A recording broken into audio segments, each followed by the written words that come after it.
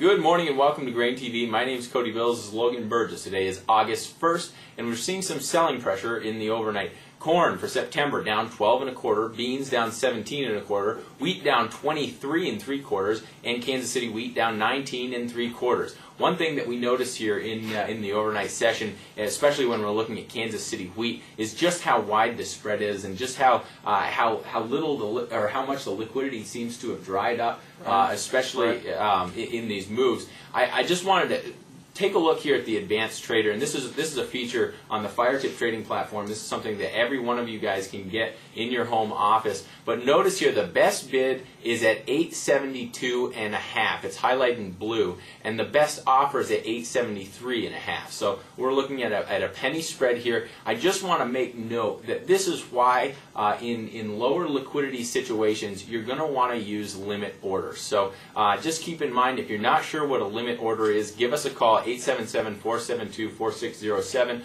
Uh, we'll be happy to explain it and uh, and provide you with some content. Logan, I know that uh, that we really seems to be uh, selling off this morning. It's the leader to the downside. Right. What's causing that? Yeah, Cody. Well, you know, recently here the wheat market's really been pressured, uh, or really been pushed higher by rumors out of Russia that they're going to limit exports of wheat, as we saw in 2010. This morning we have some news out from a government source in Russia that they actually have a wheat. They're projecting a wheat surplus, uh, export surplus of 11 to 15 million tons there, and they actually raised their estimate of production to 50 million metric tons there. So it looks like here uh, the wheat complex is leading to the downside. How far can the wheat complex go, though? You know, recently here with this weather market, we've seen wheat and corn uh, really trade in tandem. It's been a, a, fairly correlated trade here recently, and that's because when we see uh, when we see wheat trading at a severe discount to corn, wheat becomes a substitute in a lot of feed operations right here. So for that reason, I think wheat should continue to move lower if we continue to hear this news out of Russia. But keep in mind that it really there's going to be a floor there if the corn market stays really strong here. Kind of some interesting action right now, especially on that December corn, now below eight dollars here. What what are, what's kind of your take on that?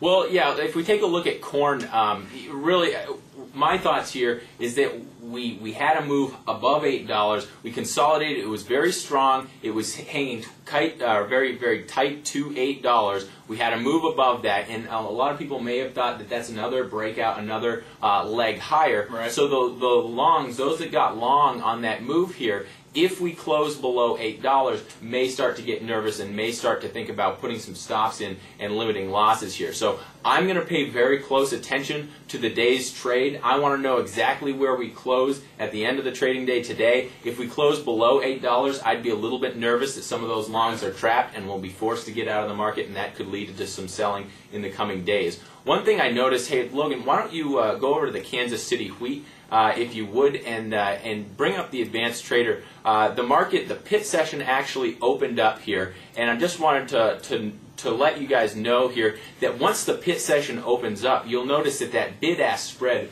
really uh, consolidated here, and really we're only seeing about a quarter of a, uh, a penny here. So you'll notice that there is a difference between the overnight session and that pit session, and Right. uh, and so those limit orders when you're trading in the overnight session very important. Absolutely, Uh, Cody. You know, right now with the pit now open, it does look like the grains are moving back here. A little bit of buying coming into this market. One thing that's going to limit the uh, the upside potential of this market today is the six to ten day outlook here. A little bit improved, but far from the scenario that we really need to resolve this drought. If we hop over here to a map provided by our friends over at Planalytics, as you can see here, areas of Wisconsin should be getting some good precipitation here over the six to ten day outlook, but nothing really substantial. If you take a look here at the southern areas of Iowa, southern Illinois, southern Indiana, where those guys are really hurting, no uh, no relief in sight there right now. And this comes during a very important time as they're starting the uh, the crop yield estimates for the August WASDE report. We'll be getting that in a few weeks. Cody, what's kind of your outlook for that WASDE report here? That's going to be a big market mover. Well, like you said, this August report really will be the first survey-based yield Right. projections, and I think for that reason, it's going to be a very big market mover. Right. I, I think what we're looking at here is very uh, concerning. Uh,